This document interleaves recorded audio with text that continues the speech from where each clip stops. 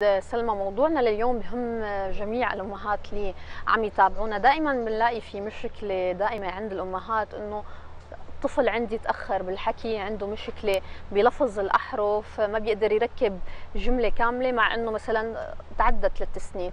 اليوم بفقرتنا رح نحكي عن أنواع مشاكل النطق عند الأطفال وفي مشكلة أخرى كمان الأهالي بيعانوا منها عدم اعتراف إنه طفلهم عندهم هي المشكلة. حالة النكران الدائمة إنه هي المشكلة موجودة عند أطفالهم. لنحكي أكثر عن هذا الموضوع معنا ولاء حسن أخصائية تقويم الكلام وعلاج النطق. يسعد صباحك واهلا وسهلا فيك. صباحك صباح الخير. يسعد صباحك صباح بدايه ورح نبدأ مع حضرتك.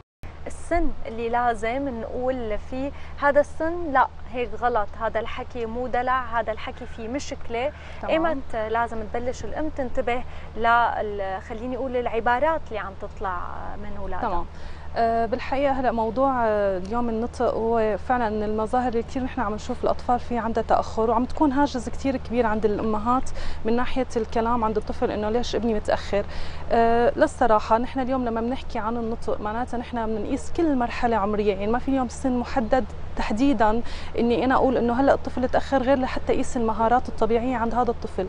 يعني لما يكون مثلا طفل بعمر السنة تمام؟ أو طفل مثلا آه، طبعا بعمر السنة مثلا ما عم يستجيب لاسمه. معناتها في الولد عنده ضعف بالتواصل ليش هو ما عم يستجيب؟ لأنه إحنا بدنا نعرف إنه آه، قبل مهارات الكلام واللغة والنطق في عنا مو بس السمع والتواصل تمام؟ فهو هذا الشيء أساسي إنه الطفل بعمر السنة المفروض ينتبه لاسمه. صحيح. مثلا بتقولي له تعب يجي لعندك بينفذ لك أوامر بسيطة. فهي المهارة إذا كان طفل عنده فيها تأخر معناتها نحن بهيئنا إنه عنده لقدام في تأخر بالكلام.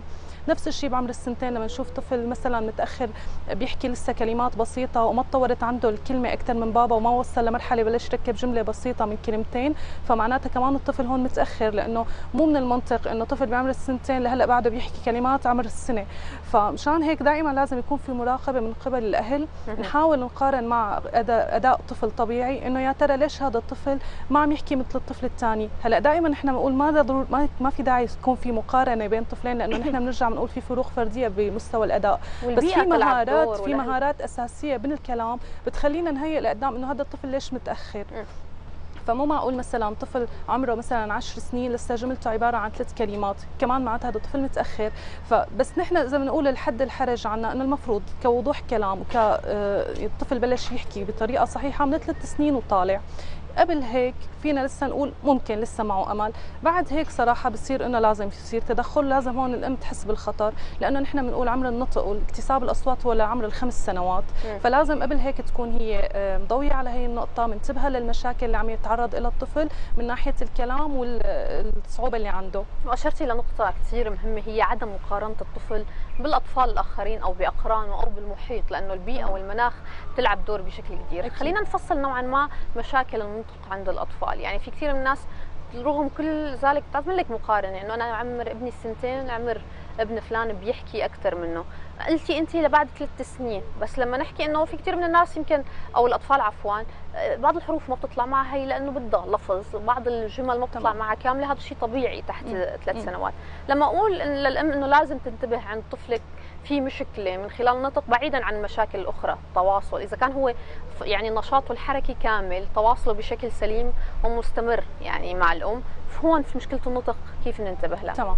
هلا إذا كان عندنا طفل طبيعي من ناحية مثلا المهارات النمائية من ما انه متأخر بأي مهارة لا بالمشي ولا آه، بالحركات الطبيعية اللي ممكن الطفل يتنقل فيها بالمراحل النمائية وقدراته العقلية الطبيعية وهو بس عنده مشاكل بنطق الأصوات معناته هون عنده مشاكل بالأداء الحركي والإنتاج وهذا اللي بنسميه نطق. هون في فرق بين النطق واللغة. اللغة هي استيعاب الكلام وبعد ما يستوعب الطفل بينتجه أما النطق فهو بيكون بالأداء الحركي. فبنشوف بعض الأطفال عندهم صعوبة بنطق بعض الأصوات.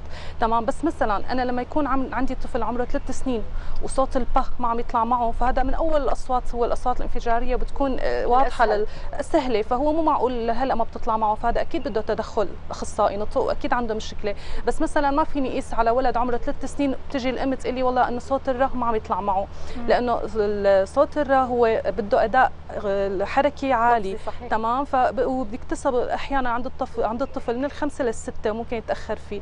وفي أطفال بنشوفهم فعلا بعمر بكير بلشوا يلفظوا هذا الصوت. بس هون نحن بنقول في عندنا عم... آه، نمو للاصوات ومراحل لاكتساب الأصوات. تمام. فلما بتلاحظ الأم إنه في الأصوات اللي أول شيء ببلش فيها الطفل وهي متأخر فيها فأكيد هون في تدخل. آه، دائما نحن بنقول لحتى يكتسب الأصوات بطريقة صحيحة نحن بنحتاج آه، شغلات أساسية اللي هن آه، أو متطلبات نمو اللغة الطبيعية عند الطفل هي مثلا السمع يكون طبيعي القدرات العقلية طبيعيه يكون عنده آه، مثلا ما في أي إعاقة آه، بتعيق الكلام عنده مثلا مثل حالات الداون ممكن إنه ياثر عنده على الكلام. تمام. وزائد إنه نحن لازم يكون عندنا مثيرات لغوية. الطفل يكون عايش ببيئة لغوية. يعني كثير اليوم بيجوا عندنا أطفال آه، الام ما بتحكي معه فالطفل تتأخر باكتساب الأصوات وباكتساب الكلام. تمام. فهي كمان نقطة أساسية. ففي متطلبات أساسية للكلام. نحن نشوف نقطة نقطة. إذا نفينا كل هدول المشاكل بنصير نشتغل بالمشاكل الثانية اللي عم نلاحظها. نعم. استاذه ولاء طيب خلينا نحكي اليوم بما أنه في أنواع متعددة للتأخر بالنطق مثل ما حكيتي حضرتك وأسباب متعددة.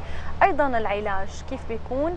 وإمتى بيكون هل العلاج هو فقط اجتماعي؟ يعني فينا نقول آه، بيعتمد على أساليب ومهارات فكرية ولا ممكن يكون أيضا العلاج هو طبي وبحاجة إلى أدوية؟ أكيد. هلا إذا لو كان مثلا عندنا مشكلة سمعية فأكيد هو بده بده علاج طبي. من ناحية أول شيء نحن نفحص السمع نتأكد من سلامه السمع عنده. في حال بيحتاج سماعة الطفل فنحن بيركب سماعة تمام؟ وفي حال كان عمره تحت الخمس سنوات فهو بيركب الحلزون.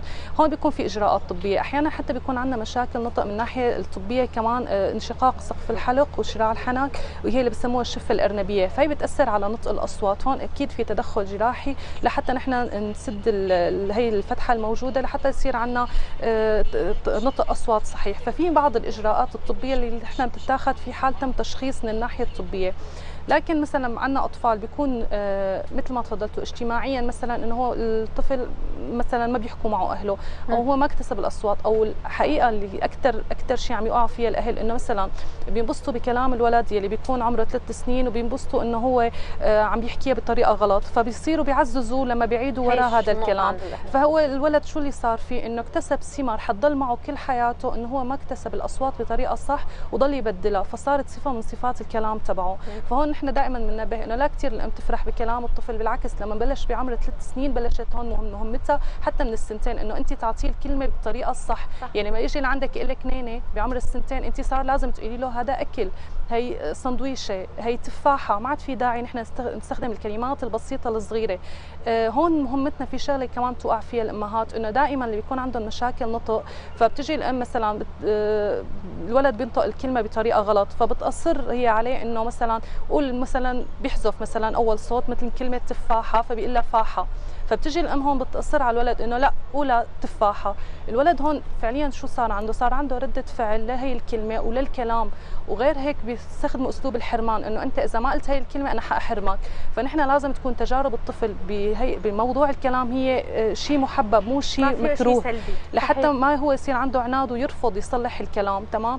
فلازم هي شو تعمل؟ تعمل تغذية سماعية للكلمة. يعني مو كثير مهم هلأ يقولها مهم يسمع نطقة للكلمة بطريقة صح تمام؟ وتعمل وين الموقع اللي هو عنده فيه مشكله مثلا وين حذف؟ فهي بدها تعمل مثل تمييز سمعي لهي الكلمة وتعمل إبراز لهذا الصوت بأول الكلمة مثلا أنت حذفتها. فهو كثير مهم إنه يعرف هذا الموضوع. حتى نحن أحيانا بنقول للأمهات اللي عندهم أولادهم مشاكل نطق هن تقريبا طبيعيين بس عندهم مشاكل من حذف وإبدال وتشويه. هي المشاكل الاضطرابات النطقية.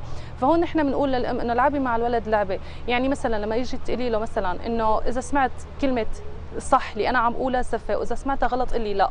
تفاحة هي صح ولا غلط؟ إذا الولد قدر يميزها تمام؟ معناتها هون بلشنا عم نعمل له وعي صوتي للكلمة. أما ما ميزها معناتها هون عندنا مشاكل فهون أهم هي المرحلة إنه هو يسمع ويميز من إنه يقول. فهي كمان شغلة كثير رئيسية اليوم الأولاد بيوقعوا فيها وما بتصير تصليح للكلام. فدائما بعد عن كلمه قول قول وهو مجرد إنه نحن نعرض الطفل للكلمة بطريقة الصح. معه معه بخزنها وببلش يستبدلها هلأ إذا في صعوبات أعلى من مشاكل مثلا آه، ارتخاء بعضلات النطق أو مشاكل ثانية أو مثلا الطفل بنظامه الصوتي مو متكون عنده مجموعة من الأصوات وما بيعرف ينطقها فهون الأفضل إنه يتوجه لأخصائي النطق بجلسات منتظمة ببلش الطفل بيتعرف على هي الأصوات اللي هو ما اكتسبها بالعمر الطبيعي. لأنه أحيانا حتى في عندنا حالات ممكن يكون عندهم سوائل على الإذن فحرمتهم بفترة معينة من اكتساب الصوت يلي هو كان المفروض ياخذه بالعمر الطبيعي. فهون بيجي التدخل. ويمكن قلتي جملة كثير مهمة دور الاهل بيلعب دور كثير كبير أكيد. بتنمية مهاراته اللفظية والكلامية للطفل. فلازم يكون في وعي ودرجة وعي كثير كبيرة خلال أول أربع خمس سنين. كمان هي بتأثر على شخصيته بشكل عام أكيد. للطفل. بدي اتشكرك اخصائيه تقييم الكلام وعلاج النطق عند الأطفال ولاء حسن على وجودك معنا. شكرا كثير لك. شكرا لكم شكرا اخباريه شكرا لك ولكل النصائح اللي قدمتي لنا اياها